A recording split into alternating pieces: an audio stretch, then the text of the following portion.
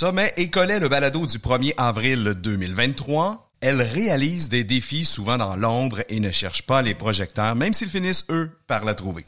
Elle a le simple besoin de se prouver à elle-même qu'elle est capable. Pourquoi? Eh bien, je pose la question à Charlotte Levasseur-Paquin. Sommet et Collet est une présentation de la brasserie Unibrou, lauréate de près de 400 médailles internationales. En collaboration avec Telloc, le plus grand bailleur de téléphones satellites en Amérique du Nord.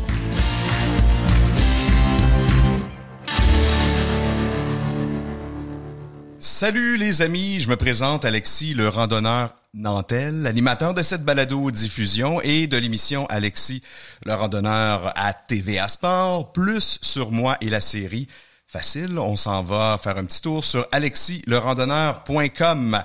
Salut mon ami Sylvain Bouchard. Bonjour Alexis. En pleine saison euh, des sucres, tu nous apprends quoi dans ton segment collet? Hey, toi, t'es perspicace. Devine, je vais vous parler des bières, euh, des bières de la saison des sucres qui ne sont pas des saisons. C'est des saisonnières. Vous êtes mêlés, je vais vous démêler. Ouais, c'est ça. Tu vas nous démêler euh, tout ça tantôt. Je pense que ça va être euh, fort intéressant et qu'on va en apprendre beaucoup comme d'habitude. Je vais tout de suite aller de l'avant et présenter notre invité. Donc, je l'ai mentionné d'entrée de jeu, Charlotte Levasseur-Paquin. Alors, elle est originaire de la Gaspésie. Elle ouvre la randonnée, c'est-à-dire elle découvre la randonnée à ses 17 ans en travaillant euh, pour une base de plein air avec des enfants et des adolescents. Étant sportive, elle migre vers des sports d'équipe et quelques sports d'aventure comme le ski haute route, la course en sentier et la randonnée sportive en autonomie qu'on appelle fast packing. Elle réalise quelques expéditions qui l'amènent en Islande, en Irlande, Terre-Neuve, les Maritimes et, bien sûr, dans son patelin sur les chic-chocs en Gaspésie. Elle a attiré l'attention du milieu en battant deux fois les records féminins en mode autonome sur le GRA1 en 2021 et 2022. En fait, elle s'est battue elle-même, je crois. Au quotidien, elle pratique la physiothérapie depuis plusieurs années. Bienvenue Charlotte Levasseur-Paquin. Allô, c'est une belle présentation, merci. Euh, ben oui, je pense que ça, hein, ça, ça met un peu ton, ton portrait en lumière. Et puis, euh, ça permet aux gens de te situer, mais on va aller beaucoup plus en profondeur tout au long euh, de cette balado-diffusion. Euh, en commençant peut-être par le début, le commencement, ce que je me plais à dire souvent, l'origine, en fait, ton origine. Donc, tu viens de Chandler, mm-hmm. dans la baie des Chaleurs. Tu as perdu l'accent ou tu jamais eu l'accent? Ah, malheureusement, j'ai, pas un énorme accent gaspésie. Il est pas très présent, en tout cas. raconte-moi un peu, justement, ton enfance, comment ça se passe là-bas, dans ta famille? donc, ouais, c'est ça. Je suis originaire de la Gaspésie. Puis, comme toute personne qui vient de région, j'ai quand même la chance d'avoir grandi dans la nature, avec une grande proximité avec la mer, la forêt et tout. Euh, je crois pas que j'étais particulièrement dans une famille euh, d'aventuriers ou quoi que ce soit. Euh, peut-être mon père avait un petit côté un peu plus euh, expédition en canot camping et tout, mais sinon c'est pas de mes parents que j'ai appris ça. C'est vraiment dans l'adolescence, en allant dans des camps, des camps de, de séjour dans le fond avec des jeunes que j'ai appris à travailler un peu plus en plein air, canot camping, randonnée, expédition et compagnie. T'as des frères et sœurs? Oui, je suis celle du milieu dans le fond. J'ai un grand frère, une petite sœur. Génial. Et donc, tu me dis, euh, tes parents étaient pas du tout plein air. Ton père, peut-être un, peu. C'était du genre à traîner un canif dans ses poches, puis ça s'arrêtait là, ou à peu près? peut-être. Il, a, a quand même fait du canot. Je dois lui redonner là, cet honneur-là d'avoir fait des expéditions de canot. Parce que c'est quand même euh, rare les gens qui sont pas... Euh, proches ou en tout cas qui profitent pas de la nature, surtout en Gaspésie. En tout cas, tous ceux que moi j'ai connus, tu sais, même si tu fais pas de plein air, tu vas bûcher du bois. En tout cas, mhm, tu as, un contact, une immersion en nature quand même, j'imagine. Ouais. Puis ne serait-ce que ben, dans la région, euh, euh, il y a beaucoup de chasseurs, chasseuses là, donc euh, juste ça c'est. tu fais une distinction entre chasseurs et chasseurs? Non, c'était pour être inclusif, pour. ah, ok, chasseuse. Ah, j'ai compris chasseur. Non, non. Excuse-moi. Ben, dans les faits, moi, je suis pas chasseur, je suis chasseur. Celui qui accompagne les chasseurs puis qui profite des bienfaits de la nature, mais sans aller tuer la ah, bête. Ah, c'est parfait. Je vais être plus inclusive à l'avenir. Je vais dire chasseur, chasseur et chasseuse. Donc oui, c'est ça. C'est, il y a quand même euh, ce lien-là entre les Gaspésiens euh, puis la nature. Euh, d'ailleurs, dans ton nom de balado, ça m'a pris vraiment longtemps à comprendre que collet, c'était le collet de bière et ben non le collet pour. Je pensais qu'on ah, avait parlé de chasse un peu, là. Ouais, ouais, ouais, ouais, de Hey, ça, aurait prend, pu. ça prend vraiment une fille de la Gaspésie pour t'en sortir, celle-là. hein? Mais oui, bref. euh, Ben écoute, on l'a abordé à quelques reprises quand même depuis le début de la saison. Euh, la chasse, euh, la trappe, le collet, ça fait partie des activités de, de plein air d'une façon ou d'une autre. Euh, Est-ce que toi, t'as déjà chassé comme tel? Euh, ben, je suis végé, fait que je chasse pas, mais j'aimerais ça un jour, je crois, pour l'excellence, peut-être chasser la perdrix, genre le petit gibier. C'est une mort que j'accepterais de, de regarder en face, mais non, j'ai pas eu la chance. euh, Il y avait pas beaucoup de chasseurs dans ma famille, ni de chasseux, par ailleurs. Puis, euh, ben, ma- mes, mes parents, en fait, je crois qu'ils auraient voulu que je sois genre musicienne. Là, c'est plus ces aspirations-là qu'il y avait, l'art, la musique. Donc, euh, c'est des choses que j'ai- auxquelles j'ai beaucoup touché quand j'étais jeune, mais euh, pas, euh, on m'a pas dirigé particulièrement vers euh, le plein air. Des parents qui avaient euh, donc une culture générale Mm-hmm. très large Oui, quand même. et qui, euh, qui ont fait leur cours classique, entre autres. Oui, c'est vrai. À l'époque où on le faisait encore en Gaspésie, c'est vrai. Donc c'est pas des euh, c'est pas des, des gens, peut-être pas des cols bleus comme tel, c'était pas des, des, des, des gens qui travaillaient de leurs mains Non, particulièrement. Non, puis c'est drôle parce que moi, je suis... Ben, j'ai j'ai quand même eu une formation universitaire, là, mais c'est euh, quelque chose qui fait beaucoup partie de moi, là, vouloir euh, gosser des trucs, euh, sortir dehors, euh, construire des trucs. Là, c'est vraiment pas de ma famille que je retiens ça. On peut pas sortir de la Gaspésie, c'est Ouais, c'est ça. C'est peut-être euh, c'est peut-être par osmose, là, en ayant grandi en Gaspésie, que j'ai pogné ça quelque part. Et là, tu me disais, tu as intégré éventuellement des, euh, des, des groupes comme monitrice Mm-hmm. euh, dans des camps. Et c'est là que tu as commencé à faire de la rando, quoi. Ouais, exactement. Euh, c'était un camp aussi en Gaspésie qui est euh, quand même une des expériences, euh, je crois, les plus positives là, que je pouvais avoir comme euh, jeune adulte. Euh, c'est un camp en deux lacs, sur le bord de la mer, euh, puis de tous âges, là, et nos tout petits de 5 ans et nos vieux de 16-17 ans, on les emmène, euh, on les emmenait, là, j'y travaille plus évidemment, mais on les emmenait euh, soit dans les chic-chocs faire des expés, au parc Forion faire des randonnées.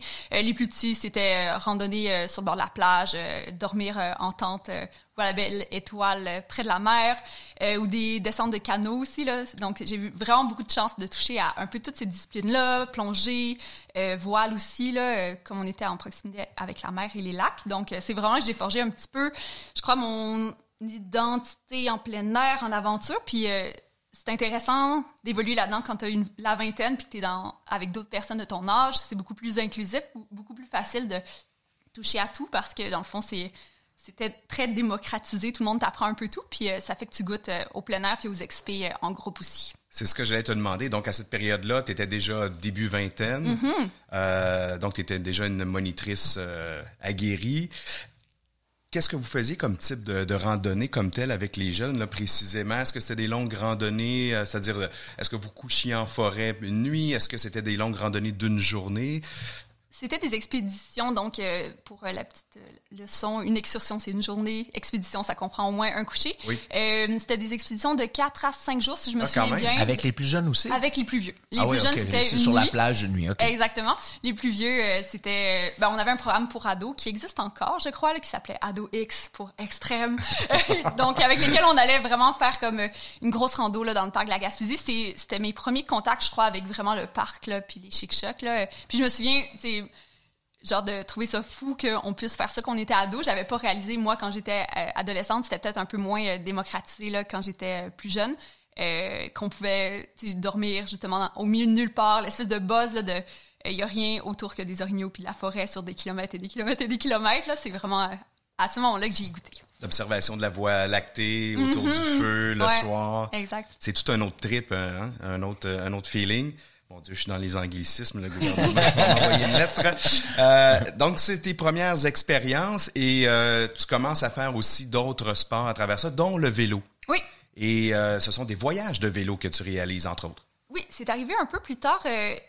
c'était le simple besoin de me déplacer. Quand j'étais à l'université, j'ai commencé à me déplacer beaucoup en vélo, puis finalement à aimer beaucoup ça, puis à me dire ah ben je dois aller.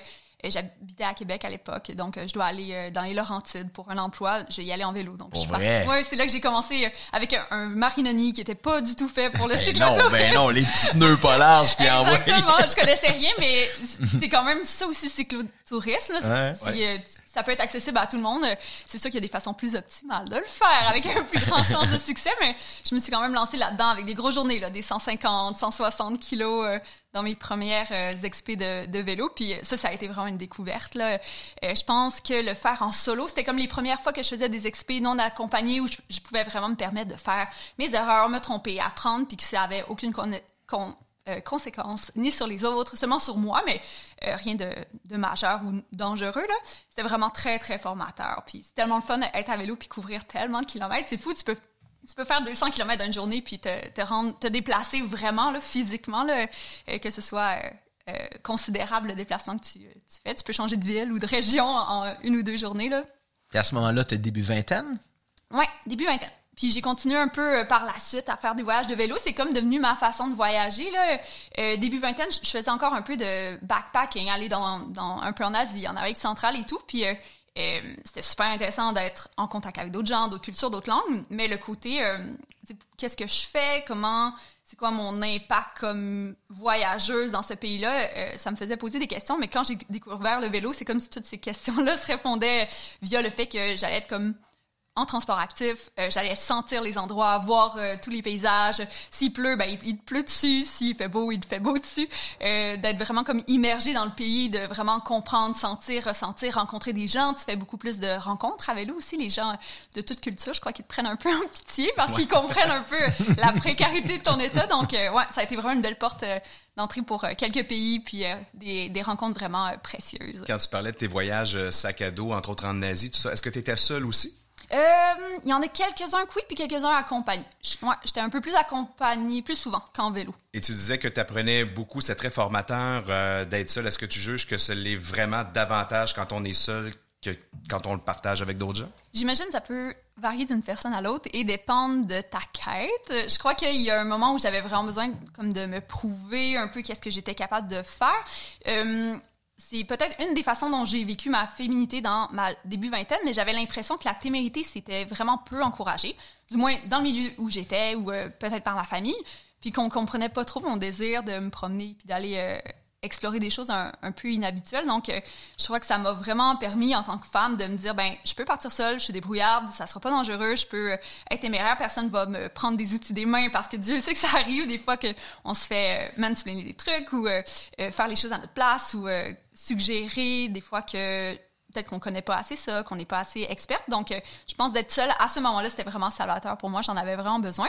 Euh, puis c'est la fonction que ça a rempli aussi, là, me redonner beaucoup de confiance par rapport à mes capacités, puis ma capacité d'apprendre, puis euh, la validité de ma démarche, là, de, d'essayer des choses. L'essai-erreur, j'ai l'impression que c'est pas toujours encouragé. Puis c'est ce que ça m'a apporté beaucoup à ce moment-là. Donc, tu travaillais déjà à ce moment-là entre tes deux oreilles? Mm-hmm. Oui, tout à fait. 100 Ça faisait partie de ce qui s'en vient. D'ailleurs, restez là parce que si vous avez peur l'été de vous promener seul en forêt à cause des ours noirs, ben, vous allez voir ce que madame a fait pendant plusieurs jours, elle, en forêt, assez sauvage, merci.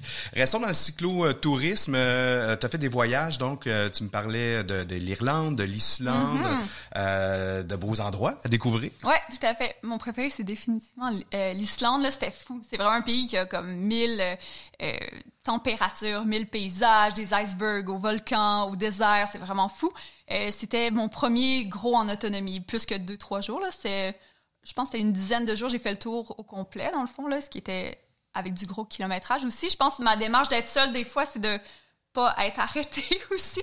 euh, donc, ouais, c'était un de, de, mes premiers. Ensuite, euh, c'en est venu là. Avec, avec beaucoup de vent et de pluie, oui, j'imagine. Oui, c'est ça. Ouais, le vent, c'est assez impressionnant en, en Islande. Là, c'est le. Il y a des journées que j'avançais à 5 km heure, puis même à pied, c'est pas si vite que ça, 5 km heure. Donc, en vélo, c'est tout juste si tu tombes pas ou euh, des vents de côté que tu peux comme te laisser tomber, mais le vent te repousse. Là, tu restes quand même en équilibre. Là, c'était assez, assez fou. Puis c'est ça, niveau météo, c'était très intense. Qu'est-ce qui t'a marqué le plus là-bas? Les paysages, les euh, gens? Les paysages, les gens, les Islandais sont vraiment cool, super relax, euh, très pince sans rire, très drôle. Ouais, j'ai rencontré aussi quelques cyclistes, on faisait des fois quelques jours ensemble en se coupant du vent, justement, fait que l'espèce de solidarité euh, comme internationale des cyclistes, là, j'ai, j'ai pu y goûter à ce moment-là. Puis je crois juste, comme les odeurs, là, ça m'a tellement marqué, là, genre, on dirait que je fais sentir toutes les plantes, toutes les, le type de roche ou de sable, là, qui, qui avait des odeurs différentes, là, un peu, je crois que tu as fait de la la voile beaucoup là puis euh, des fois quand on, s'éloigne de la côte en voile puis qu'on revient près de la côte ça sent la terre. On réalise pas que ça sent la terre donc je crois que c'est le même genre de buzz sensoriel que tu réalises. Ah, ben, puis même je te dirais euh, passer 18 euh, jours sur un glacier juste de revoir du verre quand tu reviens mm-hmm. déjà on est on est plus sensible à, ça. Est-ce que tu as fait l'expérience de, de, de lagon d'eau chaude? Oui Assurément, c'était ma seule source de douche. pendant Une source d'eau chaude comme Exact. source de douche? Tout à fait. Oui, c'était fou. Puis c'était comme, euh, c'était dans la période où ça devenait un peu plus populaire l'Islande, mais c'était pas encore l'immense boom. Fait que je crois que le- l'espèce de regain de popularité a un peu brisé ces endroits-là qui étaient plus euh, sauvages ou euh, utilisés par les locaux. Moi, j'ai comme été dans la parfaite fenêtre là où est-ce que je pouvais accéder en ligne à des informations, mais sans que ce soit bondé là. Donc ouais, j'ai eu le plaisir de euh, de la géothermie. Wow. Écoute, on parle de sources d'eau chaude. Maintenant, parlons de sources de bonheur. Euh, Source Sylvain. de choses, faut se rafraîchir. c'est ça, exactement. Donc, quand je parle de sources de bonheur, je parle euh, du houblon que tu pourrais nous servir, mon Avec ami. plaisir. Qu'est-ce que vous avez le goût de boire? Charlotte? Ben moi, je vois une saison libre euh, là-bas qui me fait des, de l'œil. Euh, J'aime beaucoup les saisons. Écoute, on est dans le thème. Ouais, On est dans le thème et qui plus est, libre, liberté, le vélo Voilà. et, et tout ça. Puis euh, quand il fait chaud, les saisons, c'est tellement des bières de prédilection. D'ailleurs, j'aurai l'occasion de vous en présenter euh, une tout à l'heure dans la chronique. À fait. Toi, tu vois euh, quoi, Alexis? ben, je prendrais une maudite, mais tu sais quoi, je la partagerai avec toi. C'est vrai? Ouais, si, euh, si ça fait ton Eh, bonheur ben non, mais aussi. Je suis tellement content que tu me proposes ça parce que euh, la bière, c'est le plaisir, mais surtout le plaisir de partager. Tu sais, on partage des bons moments, on jase entre le monde. Puis les, les gens oublient souvent euh, le- un format 473 ml, ça peut être costaud tout Ouais, seul. ben c'est ça. Et euh, moi, j'aime dire, c'est un peu comme le vin. Euh, tu bois jamais une bouteille de vin tout seul. En tout cas, oui, mais bon, vaut mieux pas. C'est on, pas, va, euh, on va souvent partager une bouteille de vin. À l'époque qu'on buvait de la bière, si on monte de 25-30 ans, les, les gens boivent, il y a beaucoup moins de microbrasseries. Puis le monde, ils partageait pas. Ils prenaient leur canette à eux, tout seul. Puis je trouve qu'en ce moment, avec la multitude des microbrasseries, mais surtout des saveurs, on devrait le refaire plus, partager. Quatre canettes à quatre, tu Ouais. goûtes quatre bières différentes. Exact. C'est tellement plus intéressant que de s'en siper une. Il y a des fois que tu seul, veux- tu- puis, ça te donne euh, l'occasion justement d'en goûter davantage, puis il y a des fois, comme ce soir, ça, ça donne l'occasion d'en boire juste un petit peu moins, Ben, c'est ça. mais d'avoir quand même le plaisir puis le, le bon goût au bout des lèvres. C'est comme les tapas de la bière. C'est comme les tapas. Ah, de la j'aime bière. ça. fait que là, on se partage une maudite. Ça marche. Maudite bonne idée. Hey, santé les amis. Santé. Santé. À la vôtre. À l'Islande. Oui. Après ça, tu t'en vas où? Après ça, euh, je suis partie. J'ai fait l'Irlande aussi. Puis, fait euh, l'Islande avant, l'Irlande. C'est-tu un de tes premiers voyages? Ouais. OK, Ouais. wow. Je, ben, je voulais quelque chose de. Ben, comme mon premier voyage en backpack, c'était le. Vietnam. C'était Ok. pas genre la France. Fait que j'a- j'avais envie de, de- d'épaisement puis de, d'expérience forte. Euh, puis après, euh, j'ai fait quelques trucs au Québec aussi. euh, Ah, mais attends, attends, attends. Moi, Oui. je- je- oh, tu parles d'Irlande. Oui. Puis évidemment, je fais tout de suite un rapport avec la bière. Ah, oui. Parce que je peux pas penser que tu as fait l'Irlande à vélo à ce moment-là. Oui. Sans arrêter dans un pub quelque part. Non, c'est sûr, j'en ai fait plusieurs. Euh, puis, ben, ils ont, ils ont une culture euh, au niveau bière artisanale qui nous ressemble un peu aussi, l'Irlande. Là, on est vraiment pas loin des Irlandais euh, culturel- cul- culturellement. Donc, ouais, il y avait genre plein de micros un peu partout, artina- artisanales. pardon. Ouais. Puis évidemment, la Guinness, j'ai fait un- une journée au complet dans le, leur euh, musée de la Guinness. Ah, Saint James. Gate à Dublin. Yeah. Puis pour vrai, c'était vraiment intéressant. C'est grand public, là, mais c'était beaucoup sur le processus de bière. Moi, j'adore euh, tout ce qui est fermentation, cuisine et tout. Là, donc, j'en ai eu vraiment pour, euh, pour mes euros. Je fais un aparté, mais Ben, je te le connais. demander, ben, je connais. Moi, je suis personnellement pas allé, mais je connais euh, facilement une quarantaine de personnes qui m'ont dit je suis allé, et sans exception, tout le monde m'ont dit quelle visite intéressante. Il y a plusieurs brasseries qui font des visites, mais Guinness, Saint James Gate, Dublin, c'est une des de celles qui marquent le plus les gens. Puis au niveau culturel, c'est intéressant. Ils montrent toute la fabrication euh, des, euh, voyons, les tonneaux, Ouais. Euh, les barriques, les tonneaux à travers les âges, tout comment Dublin a évolué aussi autour de la fabrication de la Guinness, comment c'était envoyé par bateau à l'époque, la Guinness Draft qu'on a encore, ben que c'est celle la seule à laquelle on avait accès à ce moment-là, euh, les quatre ingrédients de la bière, euh, c'était vraiment intéressant. La torréfaction aussi là, genre toutes les euh, toutes les machines pour ça, c'était le fun de voir, euh, toucher et sentir tout ça. Je, je veux pas me tromper, Sylvain, mais les- tu m'avais dit que les Anglais brassaient de la ale. Ouais.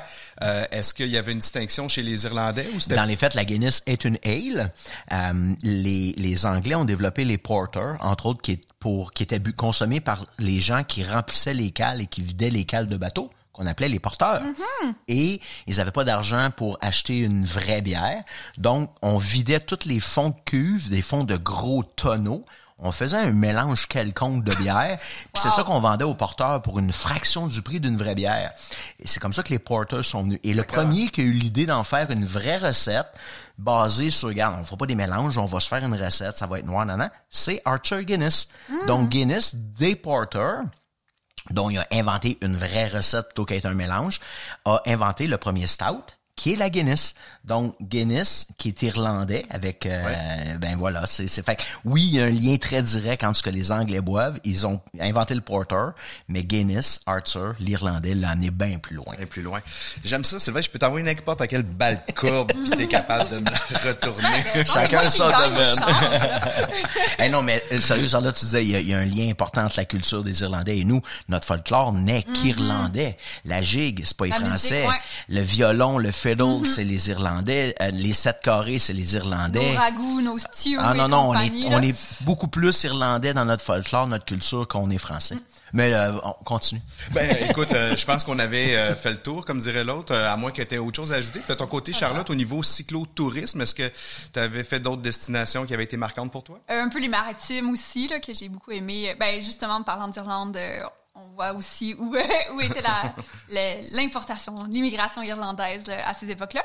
Puis, euh, ouais, c'est ça. C'est pas mal ça. Rien Hey, de... Tout est dans tout, hein? Ouais. Euh, là, ensuite, tu fais une euh, première, euh, je dirais, grande expérience de rando, c'est-à-dire que tu vas, tu te déplaces ailleurs pour faire une rando. euh, et bien d'autres choses, évidemment. Peut-être boire aussi euh, de la bière à Terre-Neuve, parce que euh, il y en a là aussi. Mais donc, tu as effectué euh, Gros Morne là-bas. Raconte-moi donc. C'était un voyage de cyclotourisme, puis euh, on tenait vraiment... Là, j'étais avec une partenaire d'aventure. euh, avec le temps, j'ai fini par trouver une amie euh, avec qui je pouvais rouler autant que je voulais, puis qu'on pouvait se challenger de cette façon-là. Puis on voulait vraiment aller à Gros-Morne, mais on était en cyclo, donc on a fait... C'est pour ceux qui ont déjà été à Gros-Morne euh, à Terre-Neuve, parce qu'il Tout le monde va à Gros-Morne à Terre-Neuve. il existe plusieurs Gros-Mornes, donc je parle vraiment celui de Terre-Neuve. Ouais, googlez Euh, ça, googlez ça. C'est énormément de côtes. Là, si vous googlez là, le, le- comment se rendre en vélo, vous allez voir que le dénivelé a comme pas de bon sens, mais on tenait tellement à aller faire la montagne qu'on l'a fait. Hey, moi, mais sérieux, je voulais y aller en voiture, puis j'ai viré de bord. Ouais. ouais, ta C'est à cloche... l'autre euh, bout. C'est, pas, un- pas, un- c'est pas une image, c'est vraiment à l'autre bout du monde, là. C'est vraiment C'est vrai. le nord-nord-nord de Ouais. Terre-Neuve, dans la petite... euh, Nord-ouest. euh, le fjord, là, dans le fond, euh, avant... Ouais, exactement, à l'est. nord-ouest. Euh, est. ouest. Ouest, c'est ça. Ouais, Ouest, ouais. Puis euh, donc ouais, on est allé puis euh, c'est comme une des plus belles vues du Canada, paraît-il, parce que quand on est allé dans le fond, c'est je pense un 16-17 kilos de, de trek puis plus on montait, plus le brouillard, puis la pluie, puis l'orage s'est levé. Donc finalement, on n'a rien vu, on a juste fait comme une des plus belles vues du Canada, mais ton- totalement mouillé là. Donc euh, c'était ce gros mort, mais c'était genre le, je recommande Terre-Neuve à tout le monde là. C'est vraiment Une euh, autre, une autre belle épreuve. Là, je suis certain que les auditeurs qui nous écoutent euh, ont peut-être pas saisi quand tu disais que là, tu t'étais trouvé enfin quelqu'un pour te suivre à vélo. Parce qu'il faut dire que tu fais beaucoup de kilomètres par jour, même, euh, même chargé à une assez bonne vitesse en général. Donc, c'est pas n'importe qui qui peut de- te suivre et avoir du plaisir à te Oui, suivre. c'est c'est surtout ça. Parce que, ben, on peut, on peut s'ajuster, mais c'est que peut-être que les gens auront moins de plaisir à, à devoir faire, faire autant de kilos. Euh, Une fois, j'avais fait, je voulais aller en Gaspésie en vélo parce que je l'avais jamais fait en vélo, mais en mode rapide. Fait que je l'ai fait comme 1000 km en 4 jours. parce que mon but, c'était de faire justement le plus rapide, puis je connaissais la route. Pas à donc, l'âge? Euh, avec ma tante, puis mon Wow. sleeping bag, puis... mhm. Wow. Mais j'aime j'aime vraiment les longues distances. J'ai vraiment un trip là-dedans de... T'aimes, t'aimes souffrir, on en reparlera ça aussi. Euh, donc, euh, tu as trouvé cette amie-là qui, euh, qui était capable dessus. Comment t'es tombé sur elle? Ah, c'est une amie de du nid puis d'enfance là, ouais, une super athlète. qui s'entraînait elle aussi déjà, puis il y a eu un bon match. Et ce que je comprends avec le cyclotourisme, après ça, ben la rando, tout ça est venu avant la course. Ça t'a préparé éventuellement à la course. La rando t'a préparé à la course. Oui, tout à fait. Euh, ben, la course, j'en fais quand même depuis aussi début de la vingtaine, mais c'était plus course sur route. Euh, je me souviens, au début de la vingtaine, je me suis dit que j'allais courir un demi-marathon, puis après ça, je me suis dit, jamais de ma vie, je ferais un marathon, c'est beaucoup trop long et plate. Puis là, finalement, mon idée a mûri, mais au début, c'était vraiment comme un, un à côté, où je faisais la course, mais des plus petites euh, distances. Je me blessais beaucoup, c'est comme tout mon coureur, donc c'est pour ça que je m'étais rattrapée un peu vers euh, cyclisme, euh, triathlon, là, pour essayer de répartir un peu mieux le stress mécanique, d'avoir un peu moins de charge, parce que j'arrêtais pas de me faire des fractures de stress, des périostites et, et tout ça. Ouais, c'est, c'est pas évident. Le bitume euh, à la longue, euh, ça prend vraiment une technique impeccable. Puis encore, Puis du temps. Des fois, c'est juste temps, le, le corps a besoin de temps. Puis versus la rando, ça m'est arrivé tellement souvent d'être un semi-blessé en commençant une rando. Puis finalement, ben, le sol est tellement euh, mou, t'as- puis tu as un rythme tellement plus lent que finalement, euh, ça, ça finit par partir durant ma rando. Là. Donc, ça me sauvait ça aussi là, pour pouvoir faire justement des, des tellement traversées. bénéfique la Ouais. rando, je vous le dis. Et mentalement et physiquement. Et hein. mentalement et physiquement. Euh, ton entraînement au quotidien, ça ressemble à quoi? Parce que là, on y va un peu à l'envers. Là, vous allez comprendre au fil de la conversation. Mais euh, tu cours beaucoup, on, on va, ça on peut le dire. Euh, ton entraînement aujourd'hui, ça, ça ressemble à quoi au quotidien? Donc maintenant, ça a beaucoup évolué. Avec les années, je me suis euh, retrouvée de plus en plus à faire des longues distances. Donc euh, euh, maintenant, en saison plus morte, disons l'hiver, euh, je suis autour de 100 kilos par semaine de course. Je le fais beaucoup dans mon déplacement en transport. Donc ça a l'air beaucoup, là, 100 kilos, mais euh, ça Mobilité active. Exactement, cocktail transport. Donc euh, c'est vraiment euh, plus pratique pour moi de le faire comme ça. Euh, J'habite à 11 kilos de mon travail, donc quand je vais en courant, je reviens en courant. J'habite à Montréal maintenant. Euh, en Un petit 22 par jour, comme ça, Exactement. facile. Puis, ben, ça, ça, ça a l'air euh, exagéré de dire que c'est facile, mais avec le temps, justement, je peux prendre vraiment plus de volume. Puis je me fais quelques longues sorties. Puis durant ma saison plus haute, j'ai tourné dans les 120, 150, so- 160 selon là, mes, mes semaines là, pour essayer de d'augmenter ma, ma capacité, dans le fond, à faire des, des plus grosses distances puis à, à recevoir ce stress-là. Ça, tu le fais toujours pour toi ou à chaque fois, c'est dans un but de participer à certaines compétitions? Ou... C'est une très bonne question. Ma relation avec ça, c'est que ce soit durable et agréable. Donc, euh, en ce moment, en tout cas dans les dernières années, ce que je ressens, c'est l'envie que ça fasse partie de ma vie au quotidien. Donc, j'aime vraiment beaucoup courir. Je trouve que ça, euh, ça vide ma tête, ça me permet de faire un reset après ma journée ou de me préparer. Ça, ça me réveille encore mieux qu'un café là, le matin de courir 11 kilos. Euh, puis, ça me permet, maintenant que j'ai ajouté le côté plus, euh, j'ai mixé la rando puis la course ensemble, ce qui s'appelle la randonnée, pas la randonnée, la course en sentier. Euh, ben, ça me permet aussi d'avoir ma, ma dose de nature. Là. Euh, ça fait quelques années que j'habite à Montréal, mais c'est quand même vraiment important pour moi de m'évader là, dans un peu plus de, de verdure puis de forêt. Donc là, là, je peux euh, le faire un peu plus d'un point de vue quotidien, pas seulement dans le but de m'entraîner. Euh, Il y a des gens, je crois que ça motive euh, beaucoup les entraînements. Moi, peut-être ça me motive à faire quelques entraînements en vitesse quand je, je pense à une compétition. Euh, mais c'est surtout que je veux juste que ce soit dans ma vie. euh, À la base, tu l'as vraiment intégré pour toi Exactement. personnellement. Puis là, tu me parles de, de volume, de course, tout ça, mais est-ce que tu as une alimentation particulière qui accompagne ça? euh, En dehors de la bière de ça, c'est Euh, c'est quand même du pain. ben, à la base, c'est super nutritif. Il y a de la bière. protéine. Mais c'est drôle avec les bières, euh, plus je m'entraîne, moins je peux euh, consommer de l'alcool. Ça a vraiment un effet délétère sur moi. Puis les, les études le montrent quand même euh, à une certaine dose. Donc euh, je suis beaucoup plus dans les genre euh, les saisons, les euh, IP, euh, pas les IP, excuse-moi, les euh, grisettes, les trucs euh, plus légers. Un peu moins de pourcentage d'alcool, mais ouais, sinon, euh, je mange beaucoup parce que l'ultra trail, c'est beaucoup de ca- calories, donc c'est important euh, de bien s'alimenter, de, de avoir euh, protéines, glucides durables et tout. Là. Je, je pense que ça me libère aussi le fait de faire des grosses distances, de pas penser à genre la nourriture comme un malheureusement il y a beaucoup de grossophobie dans notre société donc des fois on en parle beaucoup comme ah il faut pas il faut éviter certains aliments ou faut pas prendre du poids ou quoi que ce soit alors que ben, nos corps ont un poids un peu santé naturellement. Même que je cours 150 km ou euh, 50 dans ma semaine je vais avoir le même poids là. Euh, je pense que c'est juste une question d'être euh, ouvert à son besoin nutritionnel puis sentir quand t'as faim tu manges puis il y a des fenêtres où est-ce que c'est plus euh, rentabilisant là, de, de manger après l'effort et tout là mais je mange vraiment tu de de tous les groupes et tous les, les grammes qu'il faut dans chacune des catégories pour euh, m'alimenter. Mais en général, je mange beaucoup. Je dirais que ça me prend beaucoup de, de fuel, de carburant pour euh, courir. Sylvain et moi aussi, mais nous, c'est parce qu'on a des gros os. ben, c'est ça.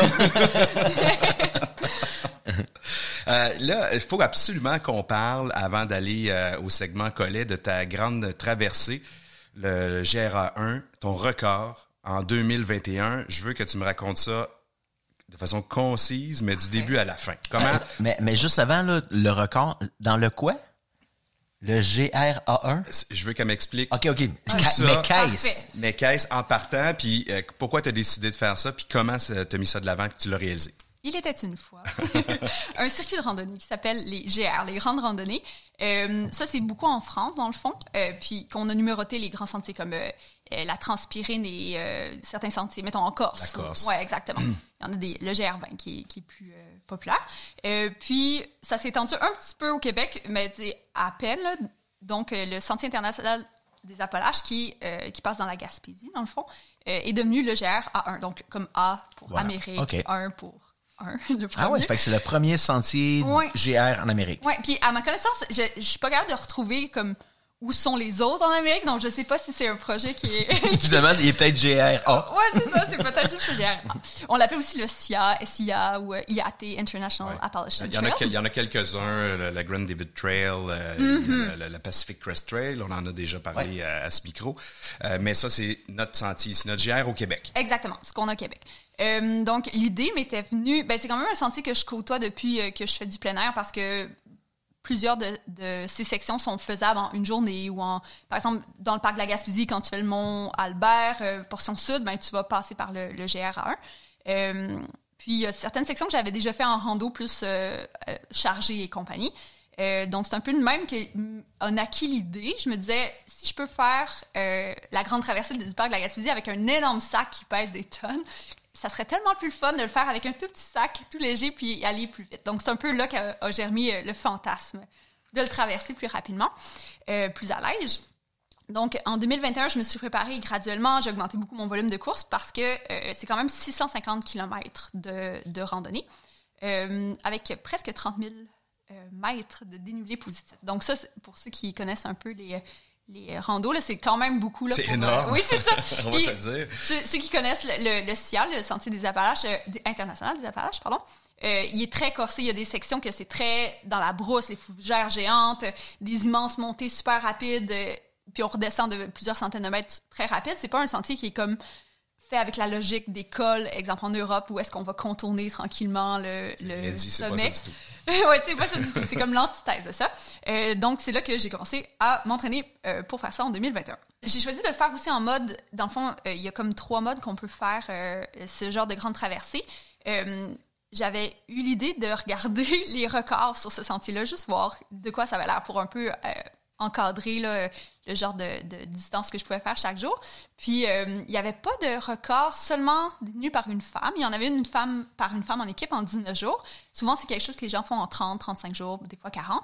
Euh, ça, dans le fond, ces records-là sont regroupés sur un site qui s'appelle Fastest Known Time, fkt.com. Euh, c'est comme un, un, genre de record Guinness, mais de, euh, de course en sentier. Puis euh, je crois même qu'il y a certaines portions en vélo, là, mais je suis plus certaine. Mais bref, c'est les traversées les plus rapides déclarées. Donc, euh, ça se peut que des gens les fait plus rapides, mais ils l'ont pas déclaré sur le site. Donc, c'est un peu ça le principe. Il y a trois catégories pour, euh, pour faire tout ça. Je reviens à mon, mon point. Il y a l'autonomie complète. Donc, tu pars avec tout ton stock, tu arrives avec tout ton stock que, ben, que tu auras mangé, là, mais tu n'as pas de ravitaillement en cours. Euh, il y a l'autonomie planifiée, c'est ce que j'ai fait. En anglais, on appelle ça self-supported. Dans le fond, c'est toi qui peux t'envoyer des colis. C'est vraiment pour euh, pour représenter un peu la philosophie du true hiking, comme ce qu'on fait sur le Appalachian Trail, sur la, le Santé des Appalaches, où est-ce que les gens vont partir pour un comme 1000, 2000, 3000 kilomètres, puis ils vont se ravitailler dans des villages ou en s'envoyant des colis et tout. Euh, puis, dans cette catégorie-là, tu as le droit, mettons, de recevoir des fois de l'aide, mais tu n'as pas le droit de planifier de l'aide de tes amis. Donc, il faut que tous les randonneurs ou coureurs euh, aient accès, dans le fond, aux mêmes ressources que celles que tu vas utiliser. Puis l'autre catégorie, c'est en mode supporté.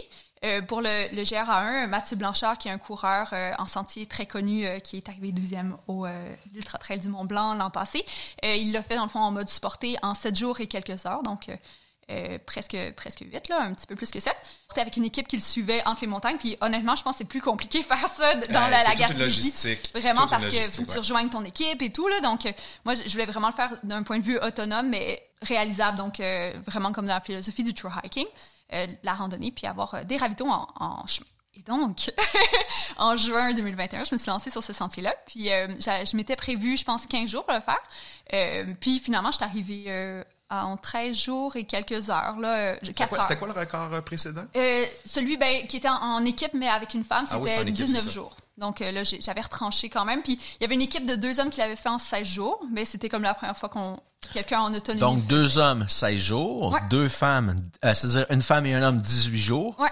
Homme seul? Euh, il y avait seulement Mathieu Blanchard, mais supporté. En combien de temps? Ah oui, 7 jours. jours et, ah oui, ok, donc t'as pas, pas de balise masculine. Exactement. Puis euh, c'était ma première expérience aussi sur en termes de comme multijours euh, supportés. Donc, j'avais déjà des expériences en événements de course, mais jamais en, ou en randonnée, randonnée, mais jamais les deux ensemble. Donc, ça a été très très formateur. J'étais quand même fière de moi. Là, très chaud, c'est pas. Euh, je sais pas. C'est pas rien. C'est pas, je suis pas mauvais non plus.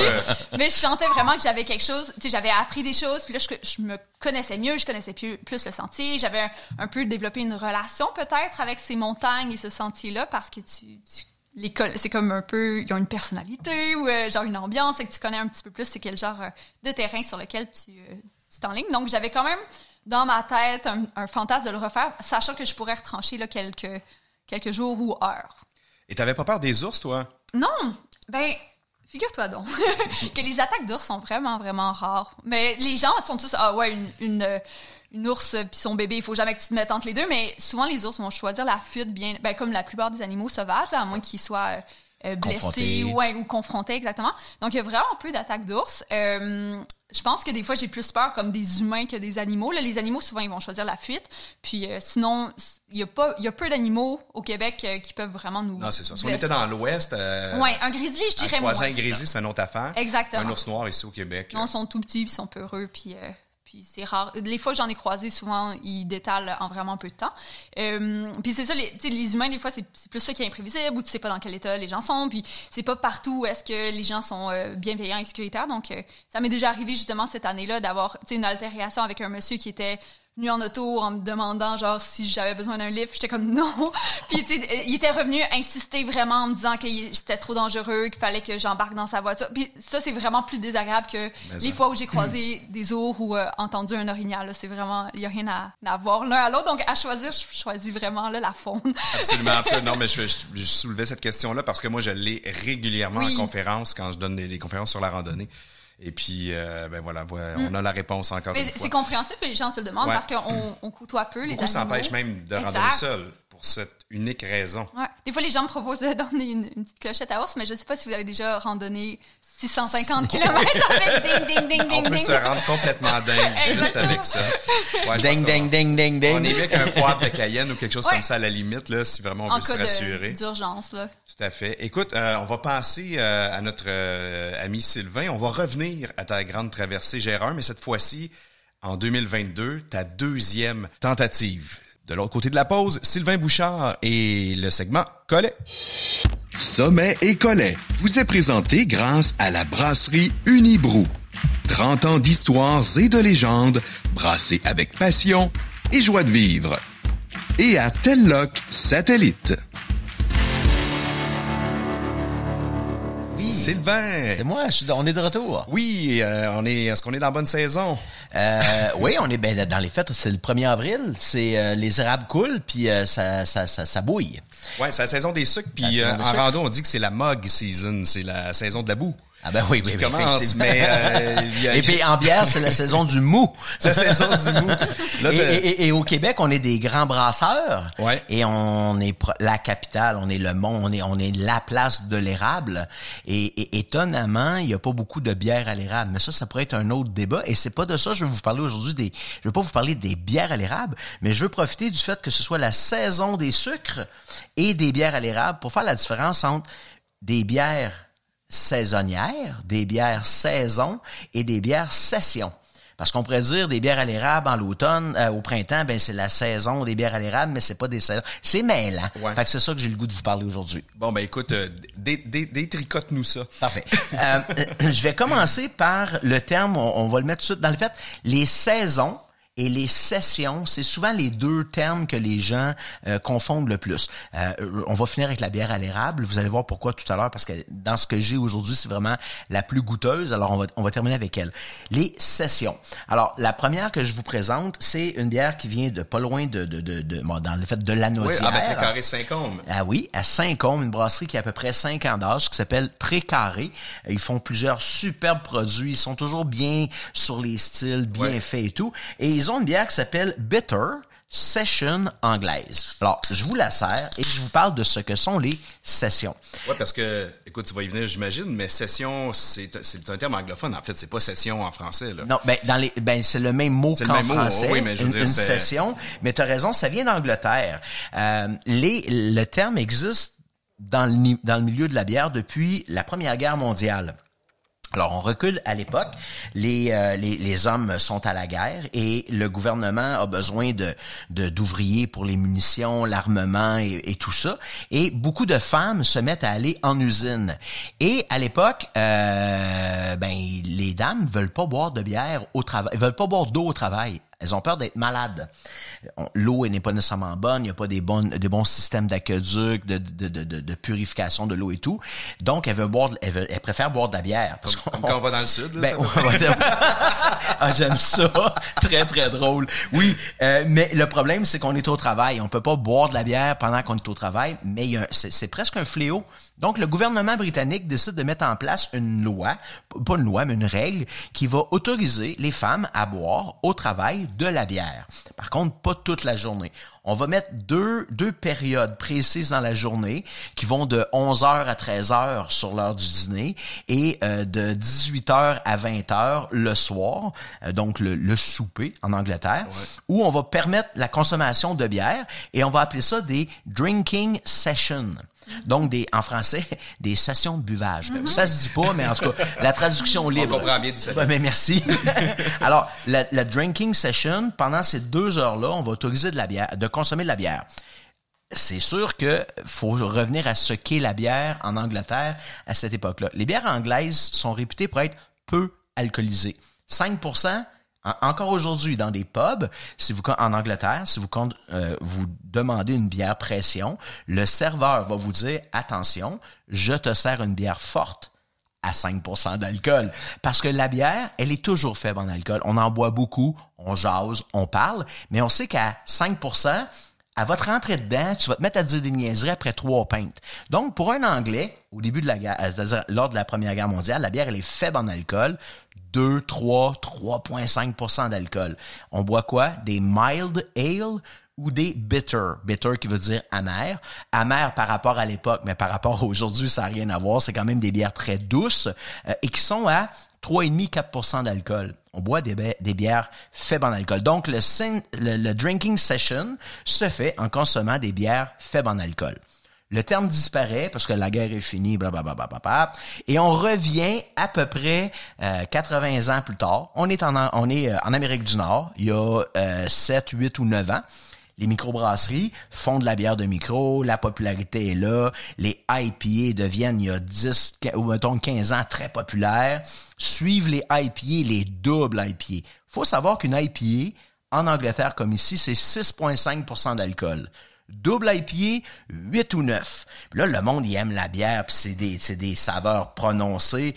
Là, on fait, hey, je peux-tu avoir le goût du houblon, l'amertume du houblon, l'aromatique du houblon, mais sans le, sans- ben, dans les faits, les Imperial, les, c'est drôle que tu dis ça parce que Impérial, c'est un I, IPA, c'est IPA.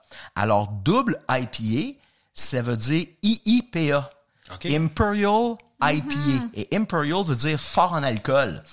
Merci de me le dire, je l'aurais même pas pensé. Le lien est intéressant. Alors, C'était I- pas voulu, remarque. Ben, ben non, je, ben, je sais, on s'est même pas parlé avant, mais le lien. de mais, mais c'est le fun. Alors, IIPA, qui veut dire Imperial fort en alcool, IPA. IPA, 6,5, fort en alcool, 8 ou 9. Donc, IIPA, pour un Américain, c'est IIPA. On va faire ça facile. Double I, PA. Alors, c'est pas double IPA, c'est double I, IPA. deux I, Ouais. PA. Alors, les double IPA étaient tellement populaires. là, et là, les gens se disent, ah, t'as peu, là. Comment je pourrais avoir plein de goût, plein d'amertume, plein de... Et là, ils ont dit, ah, on va faire des versions légères d'une IPA. Alors, ils ont sorti des IPA il y a 7, ou 8 ans, des IPA à 3,5, 4% d'alcool. Puis là, ils ont dit, on va les appeler light. Ah ben non, parce qu'il y a 10 ans, c'est quoi une light? C'est une bière industrielle, pas C'est trop une bière buvable. blonde, lager, Ouais. industrielle. Tu dis pas buvable, je me permettrais plutôt de dire Point insipide, là. insipide, peu de goût. Donc, il y avait un côté péjoratif. Et et il y, a- il y a des gens aux États-Unis, je ne sais pas où c'est parti, qui ont dit, OK, on va retrouver le mot original d'une bière faible en alcool et on va l'appeler Session IPA. Et c'est comme ça que le terme Session est revenu à la mode il y a Wow. 7 ou 8 ans. Donc, beaucoup de brasseries, je te dirais 9 fois sur 10, quand vous voyez une bière Session, c'est toujours une IPA parce que c'est revenu avec les IPA. Session IPA, Session IPA, Session IPA. Moi, ce que je veux vous dire, c'est que ça peut être autre chose qu'une Session et c'est pour ça que la bière que je vous présente, eh ben, c'est une bitter, mais ils ont pris la peine d'écrire dessus Session session anglaise parce que ça revient à ce que sont les les sessions, des bières faibles en alcool. Alors cette bière-là, elle est vraiment agréable, Écoute, comme a une couleur de miel. hein. ben, les bitters, ça c'est une version pâle d'une bitter. Les bitters là, on peut pas être plus pâle que ça. Alors tu dis miel, mais allons-y, tu as raison. Blonde dorée, pas en bas de ça. Les bitters sont souvent pensez au pale ale. Alors on est vraiment dans les ambrés pas rousses, mais presque. Et Si vous la sentez, ça sent bon. oui. On a un petit nez de de céréales. c'est très léger. On sent la céréale, exactement. Et si vous la goûtez, c'est classique des bitters. Équilibre parfait entre le goût de la céréale et son léger goût sucré et une amertume qui est pas tranchante, qui est juste là pour supporter le goût de la céréale. C'est une, et, et, et, et comme toutes les bières anglaises, ça se termine avec une amertume qui est un peu terreuse. Ça, ça- c'est, c'est très, euh, Ça me faisait penser au thé puer. Tu sais, le thé qui est comme fermenté un peu Oui, t'as raison, là. t'as raison. comme cette odeur-là. les, les, les bières anglaises classiques, on est vraiment là-dedans. Les allemandes, c'est un côté euh, herbacé, floral. Alors, euh, les, les américaines, ben, on est dans le l'agrume, le, le pin, PIN, les conifères. Alors que du côté de l'Angleterre, on est vraiment du côté terreux. Et c'est ce que cette bière de la brasserie Très Carré nous propose. Une excellente bitter session anglaise. Qu'on boit pas euh, trop froide, je dirais. Non, les, les classiques bières anglaises, 8, 9, 10 degrés, c'est à peu près la température qu'on a Elle est présentement. parfaite actuellement. ouais. Génial. De là, allons-y avec non pas une session, mais une saison. Comme la saison libre d'Unibrou. Comme plusieurs brasseries au Québec ont sorti des bières saison et souvent le nom d'une le- le- les bières les brasseries qui vont qui ont des bières saison vont mettre le, le mot saison dans le ils vont faire un jeu de mots euh, saison du tracteur ou saison tradition ou euh, bon ben, l'idée pourquoi on met un tracteur et pourquoi on met de la terre, c'est que les saisons sont des bières originaires de Belgique. À l'époque, on remonte à il y a plus de 200 ans. En Belgique, il y a trois types de brasseries. Il y a quelques brasseries un peu plus, ah, disons, industrielles, des grosses brasseries dans les villes. Il y a également les abbayes, donc, donc les moines, les trappistes ou n'importe quel type de moine vont brasser de la bière. Et sinon, dans les villages, certaines fermes sont des brasseries. Donc, c'est des fermes brassicoles. L'été, les, gros bra- les, les- les grosses brasseries embauchent des ouvriers qui sont au champ. On fait les récoltes, l'automne arrive, on répare les, euh, la grange, les outils agraires, mais on congédie pas les ouvriers, on les garde à l'emploi. Et pendant l'hiver, ben les récoltes sont faites, il fait il fait froid, qu'est-ce qu'on fait? On fait de la bière. Donc les fermes deviennent des brasseries. En anglais, les saisons aux États pas en anglais, aux États-Unis on les appelle les farmhouse. Alors pourquoi les saisons en anglais sont des farmhouse Parce qu'en Belgique, c'était des fermes brassicoles, donc la brasserie euh, de, à la ferme. Les gens brassaient la bière janvier, février, mars, dernier brassin, on les vend pas, on les met de côté et c'est la bière que les mêmes ouvriers qui retournent au champ en avril et en mai vont boire pendant l'été.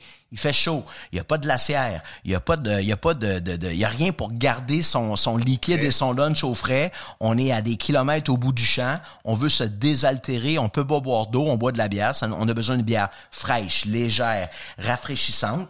On boit quoi? On boit la bière qu'on a fait en janvier, en février. On boit une saison. Alors, c'est ce que vous avez ici. La bière que je vous présente vient de la microbrasserie Charlevoix. Elle s'appelle Saison Tradition. Vous la voyez pas, mais sur l'étiquette, c'est quoi? C'est un, épouvantail dans un champ. Donc, on a vraiment le lien avec la terre. Les saisons sont... J'aime dire que les saisons sont aux Belges, ce que les Pilsners sont aux Allemands. Celle-là, écoute, j'allais te dire au nez, c'est, c'est, c'est, c'est la Belgique, là. Ah oui, celle-ci particulièrement, elle a une euh, beaucoup de euh, il y, a, y a quelques br- saisons au Québec qui sont brassées avec des levures originaires de Belgique. Celle-ci c'est le cas, ils font venir une levure de bière saison de Belgique. Ah, puis au goût. Ça sent la Belgique. oui oui, on est Ah, là. on est là. Si vous aimez les bières belges, les saisons sont vraiment euh, tout à fait appropriées. À la différence, la plupart des bières belges sont fortes en alcool, sauf les blanches comme la blanche de Chambly qui sont plus faibles. Les saisons, c'est des versions à 5 en Amérique du Nord, euh, souvent 6% d'alcool. Saison libre, on est à 4 de Unibrou. Alors qu'ici, vous avez une version à 6. Pourquoi on la veut pas forte en alcool? On boit ça dans le champ, puis il faut continuer à travailler. Il faut finir notre journée. Donc, souvent, les saisons sont plus faibles en alcool. Elles ont l'avantage d'être légères, hyper pétillante comme la plupart des bières belges, refermentées. Euh, donc le, le, gaz est très, euh, et, et c'est une petite bulle très pétillant. Ça amène beaucoup de légèreté au produit. Ça rend le, le, produit beaucoup plus désaltérant. Le gaz donne à la bière un petit goût légèrement acidulé qui rend le produit un peu comme un citron, comme une limonade, mm-hmm. beaucoup plus frais. Et les saisons, la levure qu'on utilise ici, vous la sentez au nez, mais au goût, vous allez l'apercevoir aussi. Les levures saison traditionnelles ont souvent un petit goût poivré. Donc, ça amène un petit côté épicé. Souvent, les bières belges, on va être dans les phénols, donc un côté plus girofle, alors qu'ici, oui, tu as au nez l'odeur belge, mais le goût est plus sur le poivre. Euh, super bel exemple. Et comme les Pilsner, la finale, elle est sèche. On a une amertume qui est franche et on a une finale sèche qui fait que ben non, ça coupe pas la soif. Ça donne soif. ouais, mais écoute, c'est pas grave, là, même à 5-6% dans le champ, quand tu travailles, tu l'as su de toute façon. Et, oh oui, ben c'est ça. Et euh, ben voilà. Alors, ce n'est pas une session, mais c'est plutôt une saison qui est un style de bière. Et là, tu nous parles d'une troisième bière. Et là, parce qu'on a commencé en parlant de l'érable. Ouais, puis là, c'est la saison porter, là, tu nous ramènes, euh, tu nous ramènes au porter. Là, ben, là, on s'en va du côté du porter, qui est une bière anglaise. La bière que je vous présente s'appelle Temps des sucres, qui vient d'une euh, brasserie qui a à peu près quatre ans euh, à Montréal, qui s'appelle Quatre Origines. Pourquoi Quatre Origines? Pour les quatre peuples fondateurs, un peu comme le drapeau de mm. Montréal où on voit les quatre fleurs. L'Écosse avec le chardon, l'Irlande avec avec le, le, le, trèfle, la France avec le lys et l'Angleterre avec la rose. Donc, la brasserie 4 Origines présente sur leur logo vraiment les quatre fleurs.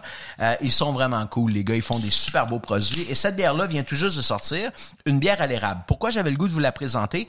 Ben, pour deux raisons. La plupart des bières à l'érable sont des bières rousses, parce que les bières rousses, de façon naturelle, sont caramélisées.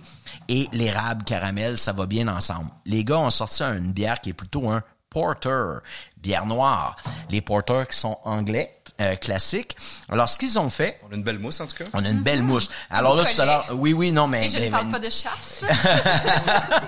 Très drôle. Alors, les, les, les, euh, les bières anglaises ont la particularité, la particularité d'avoir des grosses mousses. Alors, on le voit bien ici. Avec le euh, retour de la moustache, c'est parfait. N'est-ce pas? alors, ce qui est intéressant dans, dans cette bière-là, alors je parlerai pas de, de l'histoire comme j'ai fait avec saison et session. Bière à l'érable, c'est pas compliqué, il y a pas d'histoire en arrière. C'est tu fais une bière et tu dois mettre de l'érable dedans. Le problème avec l'érable, c'est que c'est un sucre qui est 100% fermenticible. Ça veut dire quoi? Ça veut dire que quand je brasse ma bière, je mets mes céréales qui me fournissent du sucre, je mets la levure là-dedans, la levure transforme le sucre en alcool et en gaz. Ah, je fais une bière à l'érable. Ben, je mets ma, céréale qui va me donner du sucre, va de l'alcool, je mets un peu de sirop d'érable. La levure, elle jump là-dedans et le sucre de l'érable se transforme complètement en alcool. Donc, on perd l'arôme. Ben, ben c'est que tout le tout le sucre devient de l'alcool, mais il reste pas de goût à la fin. Alors on dit, ah, j'ai une bière à 5% d'alcool. Ben, je vais rajouter plus de sirop d'érable. Je me ramasse avec une bière à 6, ça goûte pas l'érable. Une bière à 8, et ça goûte jamais l'érable. Donc, pourquoi y a, on est des grands brasseurs de bière et on est des faiseurs d'érable puis on n'a pas de bonne bière à l'érable? C'est très difficile d'y arriver. La façon de le faire, c'est ce que la plupart des brasseries font. On fait une bière rousse parce que c'est un peu caramélisé, c'est sucré.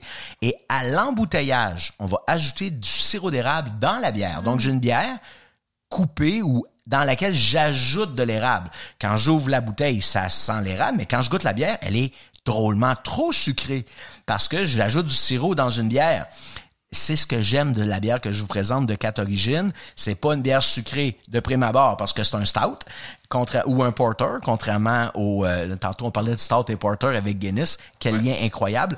Et les gars, ils ont, ils ont, vraiment trouvé quelque chose de génial. Ils ont pris du sirop d'érable, entre autres à la refermentation, donc pour donner un peu de gaz à la fin, d'où on sent le nez d'érable. Mais ils ont pris de, des, euh, du whisky québécois à l'érable. Ils ont fait euh, mariner ou macérer des copeaux de chêne dans le whisky à mm-hmm. l'érable. Copeaux de chêne whisky à l'érable qu'ils ont mis dans la cuve dans laquelle ils avaient leur porteur, qui est allé donner et le goût de l'érable et le goût du bois. Et euh, ils ont également utilisé un malt fumé. Donc, si vous sentez la bière d'un beau noir d'ébène, on a un nez de café un peu, on a un nez à peine sucré, on a un peu d'érable et puis on a un petit côté, surtout après une ou deux gorgées, vous allez sentir le, au nez le, côté fumé va ressortir un peu. C'est une belle complexité, je dirais. Hein? C'est ce que j'aime de cette bière. Souvent les bières à l'érable sont très sucrées. Ici, on est plutôt dans la complexité euh, et, et surtout, ce qui est intéressant, même si elle est noire, elle n'est pas très amère. Même si elle est à l'érable, elle n'est pas très sucrée, mais pleine de saveurs, très peu gazeuse comme le sont classiquement les bières anglaises. Hyper bonne, belle rondeur en bouche. J'adore ce produit. Euh, ça s'appelle le temps des sucres. Euh, et ça vient de la brasserie 4 Origines de Montréal. Alors Hey. voici la différence entre la saison des sucres, une bière saison, et euh, à 5,8% d'alcool, elle se voit tellement bien, c'est une session de buvage. Écoute, moi, la- cette dernière, là, je la, je la porterai à la cabane. Ah oui, hein? Ouais, c'est Il semble que hein, c'est un bon accompagnement avec le- le- les repas de, de cabane à sucre. Partons pour la cabane. Essayez ça. En tout cas, trois bonnes bières, euh, franchement, là, avec chacun un, un beau style, évidemment différent, mais euh, en bouche, un délice pour les trois. Merci, Sylvain. Ça me fait plaisir. Et on est de retour avec euh, Charlotte euh, Levasseur-Paquin, évidemment, qui va continuer de nous, de nous raconter cette euh, grande traversée du GRA1. Là, on a eu euh, la brève histoire de la première tentative. En fait, je dirais pas de la première tentative, parce que c'est une tentative réussie. Euh, mais euh, donc, tu t'es donné le goût d'en faire une deuxième, parce que là, tu es en pays de connaissances, tu as fait tes expériences, et tu décides de te relancer sur le GRA1. Mais là, pas deux ans plus tard, tout de suite l'année qui, qui suit. Exactement. Donc euh, là, avide de, succès, non, c'est pas vrai. Juste avide de mettre en pratique euh, mon expérience, j'ai- j'ai décidé de me relancer sur le sentier. Euh, cette fois-là, j'avais mon plan initial, je voulais le modifier un peu parce que euh, je trouvais que faire juste comme le même sentier, ça manque un peu de créativité. Donc, je voulais le poursuivre jusqu'à à la portion du sentier international des Appalaches qui passe par le Nouveau-Brunswick et le Maine. Donc, euh, ça, c'est vraiment la différence entre le sentier des Appalaches qui, euh, qui fait les États-Unis sur environ euh, un peu plus que 3-4 000 kilomètres euh, et le sentier international qui est vraiment Maine, Newbie et euh, Gaspésie. Euh, donc, je voulais faire tout ça, ce qui allait totaliser un 1000 kilomètres. De plus. De, euh, ben, en Total. tout. En tout. Total, Donc, le ok. 650 plus euh, les, euh, le 400, 300 quelques au Maine et au Nouveau-Brunswick. Non, en fait, c'était 1200. Donc, c'était 500 km de plus. Mais les autres portions étaient très, très plates, là, donc le défi était vraiment différent. Donc, je me suis relancée l'été passé. J'avais fait beaucoup de planification, encore une fois. C'est ça le défi aussi de ces, euh, ces aventures-là, c'est que tu dois planifier ta nutrition, euh, où est-ce que tu envoies tes colis, où tu vas les porter. Euh, j'ai passé quelques mois en Gaspésie l'an passé, donc euh, j'ai eu la chance de pouvoir aller me porter les, les colis dans la portion gaspésienne. Puis là, je me suis lancée sur cette traversée-là. Puis, là, je fais juste oui, une parenthèse encore une fois, mais tu devais être suivi par notre ami Dominique Harpin Oui. dans son émission Les Crinqués à Évasion pour ceux qui ont vu la série. Tu faisais partie de, de son, de son émission. D'ailleurs, tu étais dans la dernière, en- en- Oui, je pense. ouais, l'avant-dernière émission. L'avant-dernière. Et puis, euh, ben voilà, continue de, de Oui, nous ben raconter c'est un- ça. c'est bon à, à mentionner parce que, euh, dans le fond, euh, j'avais par contact là, accédé à Dominique Arpin, puis j'avais parlé de mon projet, il était intéressé à le couvrir en suivant les règles un peu là, de, de la catégorie self-supported, donc euh, pas d'aide, euh, le sport est distant, c'est de façon très courte là, qu'on aurait pu me filmer à certains moments, genre départ, arrivée, puis un petit peu au centre. Euh, donc je me suis lancée dans ce projet-là qui, qui avait pris quand même... euh, je l'avais comme annoncé. C'était la première fois que j'annonçais des, des projets Ah oui, sur les réseaux tu, sociaux. tu donnais une certaine, un certain stress. Il y avait des attentes, là. quand Pression même. additionnelle. Exactement. Puis souvent, c'est ce que je fuis. Là, J'aime les événements de course, mais je, je déteste le premier 24 heures avant la, la course parce que ça me stresse trop, même si personne a vraiment d'attente envers moi. Euh, donc, ouais, j'avais un peu euh, euh, médiatisé mon expérience dans un but de juste euh, faire connaître le sentier, faire connaître un peu ma démarche, puis voir c'est quoi l'envers d'une expédition de longue randonnée. Je trouvais ça quand même intéressant. Je pense que des informations auxquelles j'aurais aimé avoir accès. Il fut un temps quand j'étais, je connais moins, je connaissais moins ça, donc euh, c'était un peu ça ma démarche. Là, finalement, je me lance, puis mon plan va vraiment bien dans les, les premiers jours. Euh, ben, en fait, je fais tous les kilomètres que j'avais prévus dans les deux premiers jours. À la fin du deuxième, c'était la brunante, puis je suis comme tombée dans un trou, puis je suis mal tombée. J'avais comme, euh, j'ai eu un petit pincement genou-pied. Euh, c'était la fin de ma journée, donc je me suis dit, je vais juste dormir là-dessus. C'est quand même normal, là, et en rando et en, course en sentier, d'avoir des, des petits bobos qui se réparent finalement durant la nuit ou sur lesquels on peut relativement courir de façon sécuritaire. Euh, le lendemain, je repars, puis ça allait plus ou moins le matin. En me réchauffant, c'est reparti. Puis au milieu de la journée, c'est revenu de plus belle dans mon genou. Mais c'était pas une douleur, euh, juste euh, ah, je suis sensible, je suis tendue, euh, ça va passer, je vais prendre des Advil. C'était un peu plus important. J'avais comme des symptômes qui me plaisaient moins. Euh, en tant que physio, j'ai quand même euh, un, petit côté là, euh, analyse là, qui me permet de savoir qu'est-ce qui est une blessure euh, normale ou qu'est-ce qui est juste un inconfort. C'est ça, t'es capable de t'auto-diagnostiquer, Dans, auto... dans une certaine mesure, tout Ouais. à fait. Là, puis euh, là, plus ça avançait, moins ça semblait quelque chose de, de souhaitable à courir dessus. Donc, euh, ça tournait un peu dans, en boucle dans ma tête, surtout que euh, habituellement, je- mon mental, je pense qu'il est quand même fort dans ce genre d'épreuve-là. Je, suis, je me mets facilement dans un endroit où je suis bien, je suis contente d'être là, euh, je suis reconnaissante de, de la nature et tout. Puis là, ça tournait juste en boucle à quel point j'avais mal. Puis plus la, la journée avançait, plus je voyais de l'enflure, des signes de dérobade, d'instabilité. Donc, euh, à la fin de la journée, j'ai décidé d'interrompre ma traversée seulement après trois jours, dans le fond. Ce qui devait en durer 15, 17, 18. Wow. On est à quel mois, là, à ce moment-là? On était en euh, début juillet. Début juillet. Ouais, fin juin, début juillet. Euh, puis c'était aussi un moment comme charnière où prendre ma décision parce que j'étais, euh, au moment où j'ai pris ma décision, j'étais d'un village qui s'appelle Manche d'épée, qui est un village qui est juste un peu avant euh, que le SIA, le Sentier des Appalaches, retourne dans les terres, vraiment dans les chic-chocs.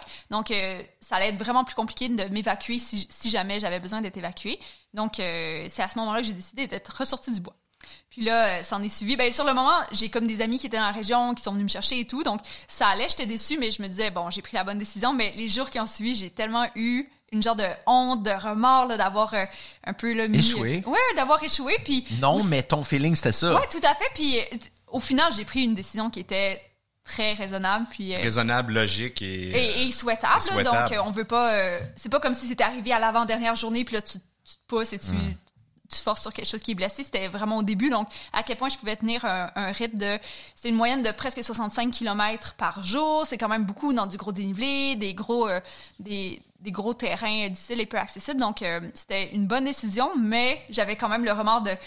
J'avais préparé tellement de choses pour arriver là. J'avais pris des vacances pour ça spécifiquement. J'en avais parlé en plus. Donc, euh, je me sentais vraiment mal euh, d'avoir, euh, de un, médiatisé, de deux, euh, abandonné. En plus, il y avait le, le côté Dominique euh, Harpin avait comme cru en mon projet. Puis Ouais, puis moi, je- quand je l'ai vu l'émission, je me suis dit, pauvre Dom, tu sais, je le comprends aussi, son point de vue de producteur. Ben, tout à fait. Qui, qui quelque chose à l'oreille pour absolument que ça rentre là. Puis là, il se retrouve avec euh, plus rien, fait que euh, lui aussi, mais au final, euh, au final, c'était toi. Comment, ça, ça a pris combien de temps avant de te, de te remettre de, te- de ta blessure? Euh, là, ce qui s'est passé, c'est que deux jours après être sortie de la forêt, j'ai attrapé la COVID et je suis très sensible à la COVID, donc j'ai été alitée pendant le reste de mes vacances. donc c'était ça, mes vacances. Alors, ta jambe, ta jambe s'est bien remise Euh, oui, par le ben, en fait, oui. j'étais tellement, pendant une semaine, j'étais KO. Mon genou, euh, avec les années, j'ai comme développé quand même une bonne capacité à me guérir. Autant dans mes débuts de course, euh, je me blessais toujours. Autant maintenant, on dirait que mon corps a une meilleure résilience. Donc, tranquillement, après deux, trois jours, j'avais arrêté de boiter. Déjà, c'est, un bon signe, là. Euh, puis, euh, je me suis un peu auto-traitée. Là, j'ai été sur le dos à cause de la COVID. Donc, ça m'a forcé au repos. Puis, graduellement, j'ai fait comme des mini-courses, puis des mini-randos. Puis, là, j'ai fini par m'en remettre un peu. Mon genou allait mieux, je pouvais pousser un petit peu plus loin. Puis je me suis dit, ben, il est peut-être pas trop tard. Donc c'est à ce moment-là quand je me suis mis à, à me réentraîner, peut-être pendant un mois, là, le processus de comme guérison, euh, puis reprise graduelle de volume. C'est sûr que je reprenais pas aussi des semaines aussi chargées que j'avais avant de partir, mais c'était Retrouver ta forme, là, disons, c'est quoi? C'est un 6 à 8 semaines? Ouais, environ, exactement. C'est pas mal ça, ce, ce délai-là. Euh, souvent aussi, le, le temps de guérison est représentatif du grade de blessure que tu peux avoir. Un grade plus élevé, une déchirure complète, ça, j'aurais été KO beaucoup plus longtemps. Là. Donc, euh, euh, peu importe ce que j'ai dans le genou, j'ai quelques hypothèses, mais il me faudrait euh, un test euh, plus précis, genre un IRM, là, pour vérifier. Mais ça s'est remis dans ce temps-là. Puis là, j'ai eu une super collabo de mes patrons, patronnes, en fait. Je leur ai demandé, est-ce que ça, ça serait faisable si je partais, tu sais, je, je squeezais ça, une, je vais prendre une semaine de congé, puis je squeeze ça avec ma fin de semaine. J'ai prévu 10 jours, j'aimerais ça le faire en 10 jours. Est-ce que vous voudriez me laisser partir? Puis euh, l'enjeu qu'on est physio, c'est aussi qu'il faut comme prévoir à l'avance. Tu peux pas dire une semaine d'avance. Des Ben clients, ben oui. C'est ça, j'ai des clients qui ont des douleurs, donc je dois les planifier. Puis on a réussi à squeezer un petit peu tout ça, puis j'ai finalement décidé de repartir. J'ai Son comme swell, fait son swell, tes patrons? oui, vraiment. Ben, sont, euh, c'était des, ben, les patronnes que j'avais, c'était en Gaspésie, là, puis euh, c'est des euh, super femmes, euh, sportives, amoureuses du plein air, donc je crois qu'ils comprenaient, comprenaient. vraiment euh, ma démarche. J'ai, ouais, j'ai eu vraiment beaucoup de chance pour ça. Je leur en suis très reconnaissante. puis ils comprenaient l'importance que ça avait pour moi aussi. Donc euh, Là, tu repars, on est à quel mois, là? là, on était fin août. Fait que là, Ouais. Juillet, juin, juillet. Ouais, c'est ça. C'était là- presque deux mois, dans le fond, Ouais. de, de me réentraîner. Puis là, c'est sûr que j'étais limitée dans le temps. Je pouvais pas reprendre des grosses semaines parce qu'il fallait que je joue entre me guérir puis reprendre un peu de forme. Mais euh, j'ai comme fait confiance là en mes années de préparation. Des fois, ça paye ça aussi. Là, T'as dans- rappelé Dominique? Oui, j'ai rappelé Ça Dominique. marche ça encore? Ben, Dominique m'a rappelé, en fait. Il m'a Wow. dit, si, mettons, tu le refais, genre.